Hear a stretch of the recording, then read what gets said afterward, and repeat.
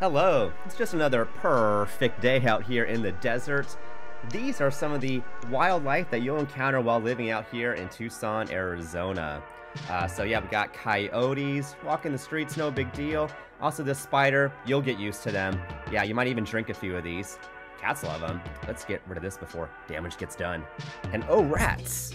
But hey, better in a box than eating up your car. And speaking of cars, yeah, this Roadrunner, he's still there. Let me just go ahead and slide in this snake video here.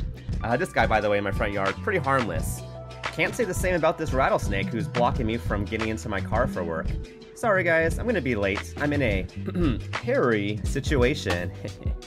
and speaking of furry, these bobcats are so cute. But we are gonna stay behind this glass window because we're not messing with no bobcats and their babies. These quails though, they chill. They just minding their own business.